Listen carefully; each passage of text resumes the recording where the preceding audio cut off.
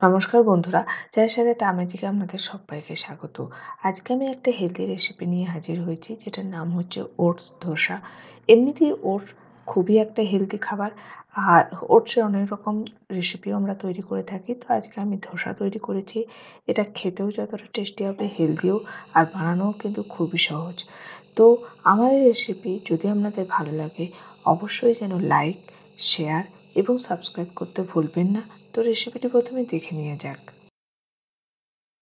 প্রথমেই আমি এক কাপ ওটস নিয়েছি, যেটা ফ্রাই প্যানে দিয়ে আমি এটাকে দু মিনিটের মতন একটু ড্রাই রোস্ট করে নেব।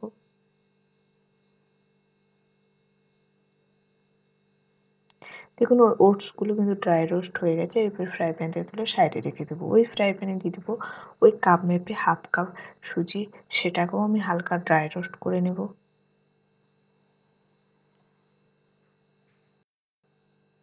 সুজিগুলোও দেখুন আমার সৌন্য খোলায় ভাজা হয়ে গেছে বা ড্রাই রোস্ট হয়ে গেছে। এটা দুটোকেই আমি একটা থালাতে রেখে ঠান্ডা করে নেব। নিয়ে এটাকে আমি ব্লেন্ডারের মধ্যে দিয়ে এটার একটা ফাইন পাউডার তৈরি করে নেব।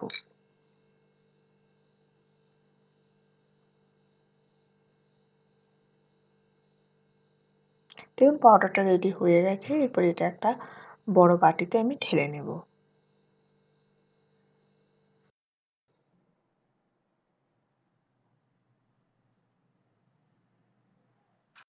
এরপর দিয়ে দিতে হবে হাফ টিস্পুনের মতো লবণ এবং ওই কাপ মেপেই দেবো হাফ কাপ টক দই।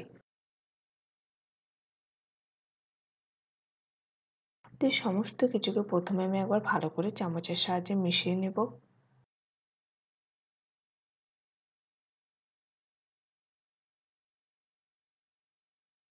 মেশানো হয়ে গেলে অল্প অল্প জল দিয়ে এটার একটা ব্যাটার রেডি করে নেব। প্রথমেই খুব বেশি জল দেব না, অল্প অল্প দিয়েই করতে হবে।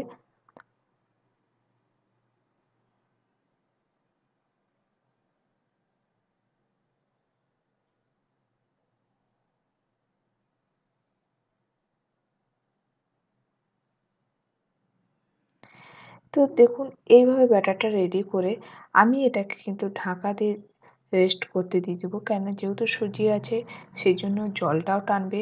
তো এটাকে আমি দশ মিনিট রেস্ট করতে দেব। দশ মিনিট পর দেখুন ব্যাটারটা অনেকটাই ঘন হয়ে গেছে। কিন্তু ধোসার ব্যাটার আর একটু পাতলা হবে, তো আমি আরও একটু জল দিয়ে ব্যাটারটাকে পাতলা করে নেব।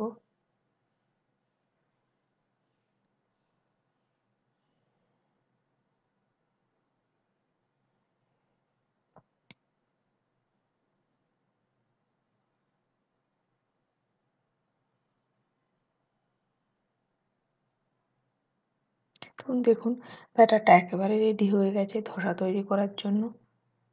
এরপর গ্যাসের মধ্যে একটা তাওয়া চাপিয়ে তাওয়াটাকে খুব ভালো করে প্রথমে গরম করে নিয়ে তাতে বেশ কিছুটা জল দিয়ে ভালো করে মুছে নেব। মুছে তার মধ্যে ধসার ব্যাটাটা দিয়ে যেভাবে আমরা ধসা করি, সেইভাবে ধসা করে নিতে হবে। যেমন গোল গোল ডাবর সাহায্যে ঘুরিয়ে নেব। যতটা পাতলা আমরা করতে পারবেন সেইভাবে করে নিতে হবে।